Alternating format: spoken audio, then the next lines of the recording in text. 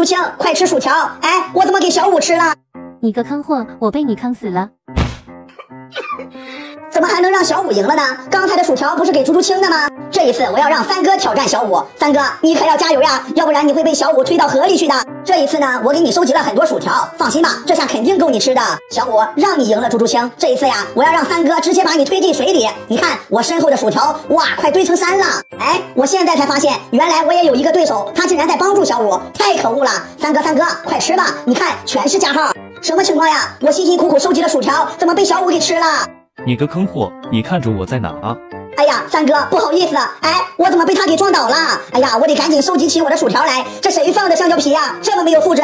现在我的薯条是越来越多了。三哥，这一次你放心，我一定让你赢得比赛。现在呀，场地上面的薯条都被我给捡光了。嘿，我的对手还在这放香蕉皮呢。不过这一次我是不会摔倒的。三哥，三哥，你快吃吧！啊，什么情况呀？怎么又被小五妹妹给吃了？我还就不信了呢，小五，我让你吃我薯条，这一次我不信你还能吃得下。哎，怎么把我的薯条全部都吃了呀？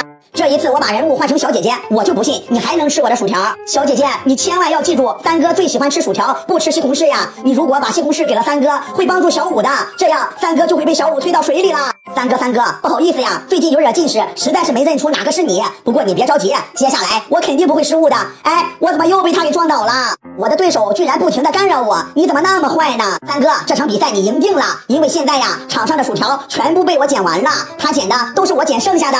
我的对手还挺努力呢，你看他傻傻的喂小五妹妹还吃西红柿呢，他其实不知道给小五妹妹吃西红柿就是在帮助三哥。现在我的背包里全是薯条，来吧，三哥，这一次直接把他推进水里。哎，情况有点不对呀。